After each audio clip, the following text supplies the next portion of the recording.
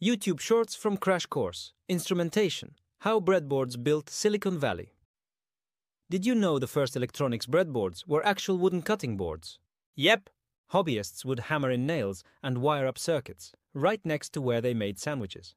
Fast forward to the 1960s, engineer Ronald Portugal invented the solderless breadboard. No solder, no burns, just spring loaded clips you could reuse over and over. Instant game changer.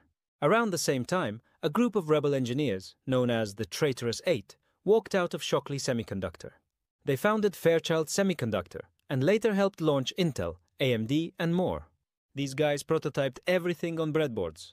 It was the tool that turned ideas into companies.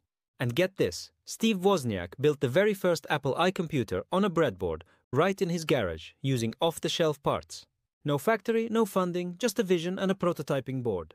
This scrappy, hands on approach helped create Silicon Valley, a place where breadboards and boldness built billion dollar ideas. So the next time you push a jumper wire into a breadboard, remember, you're not just building a circuit, you're continuing a revolution. Like, follow, and subscribe for more surprising stories from the world of instrumentation and innovation.